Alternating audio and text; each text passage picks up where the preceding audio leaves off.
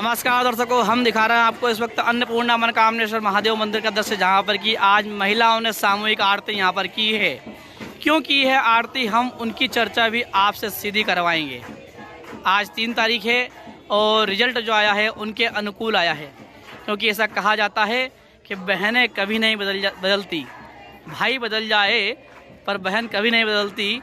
बहनें अपने वादे पर अडिग रही और बहनों ने भाई के पक्ष में मतदान किया। तो हम आरती के पश्चात माता बहनों से आपकी बात करवाएँगे।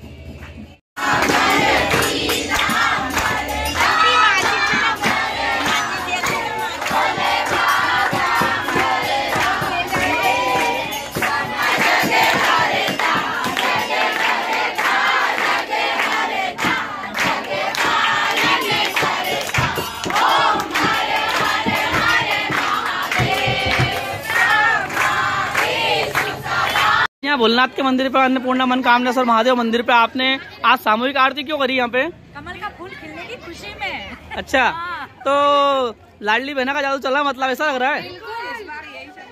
तो इसी खुशी में तो मतलब ये सामूहिक जो आरती की है आपने ये आरती क्या आपने पहले मन्नत की थी यहाँ पे ऐसा कुछ टाइप?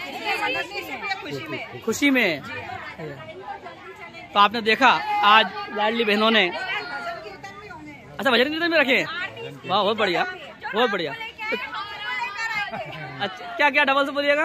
हमने आरती इसलिए की है जो राम को लेकर आए हम उनको लेकर आएँगे। तो राम मंदिर बनने की खुशी में आपने आरती यहाँ पे की है और मोदी जी के चुनाव जीतने पे। मोदी जी और शिवराज जी। शिवराज जी मोदी जी।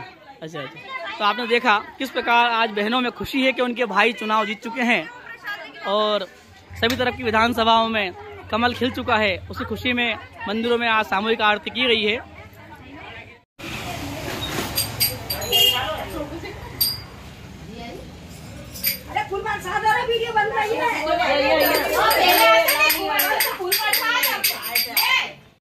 चौहान मोदी जी की जीत ने और ये भजन में तो गा रहे थे आप।